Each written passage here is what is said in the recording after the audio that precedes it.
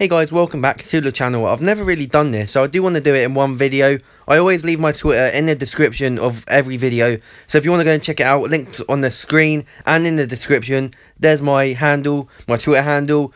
And I also came to tell you about my new Instagram. I've got a wrestling Instagram. Here it is on the screen right now.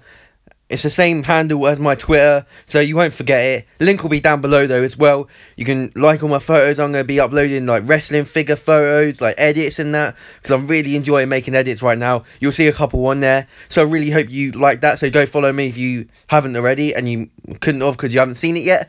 But definitely go follow my Twitter and Instagram. And also, I've said it a couple times before and I've reviewed some of my merchandise, but go check it out on the screen now is what you can buy from the store and I will be showing you in this video uh, photos of it in real life, me wearing it, me showing you it on the hanger and everything. So here it is on the screen right now. You can get the mug, the t-shirts, the WWO t-shirt, which I will be making a better design. But anyway, guys, that was just a short little video.